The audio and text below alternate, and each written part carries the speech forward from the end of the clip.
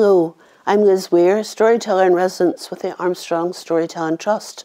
We've been working with the Northern Ireland Museums Council on a project called Museums Tell Stories. And I want to tell you a story based on school days long ago.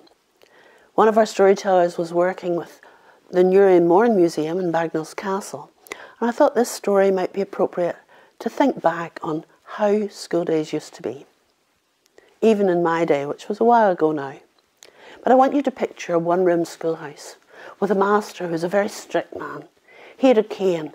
If you didn't get your spellings right, Mrs. D, Mrs. I, Mrs. FFI, Mrs. C, Mrs. U, Mrs. LTY, you'd get a slap right across your hand. But the man I'm going to tell you about had a kind heart, strict but kind. And it was coming up to the holidays, and he looked at the boys and girls and he said, I'm going to set your competition. Well, they sat up. He said, There's a prize. And out from under his desk, he brought a beautiful silver angel, a fancy decoration, the like of which none of those children would have in their houses. They lived at a time with paper chains that they'd stick together. He said, What you have to do is go out and everybody bring me back something small and something shiny from nature. Off you go now.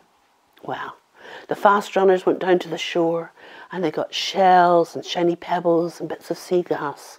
Some went out into the woods and got nuts and berries. And when the teacher came back on the Monday, the whole desk was covered with small shiny things. And he thought, how am I going to judge this competition? But when he looked up, there was an empty seat. Who's missing down there? Please, sir, it's wee Hugh. Hugh was the youngest of a big family. Took his mother a long time to get them all out for school. And he was the sort of wee boy that would have a school bag off one shoulder and the coat off the other, and he was always gawping and looking. Well, oh, wait till he comes.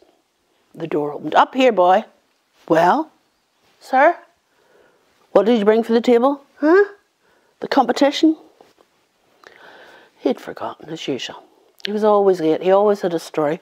Well, what's wrong today? Why are you late today? And out from under his jacket, the wee boy brought a tiny bird. He said, Sir, I found that in the lane. Can you fix it? Can you make it better? When the master looked down, he saw the wee bird was frozen. No life in it at all. He shook his head. He said, I'm sorry, Hugh, I can't help that wee bird. It's gone. It's dead.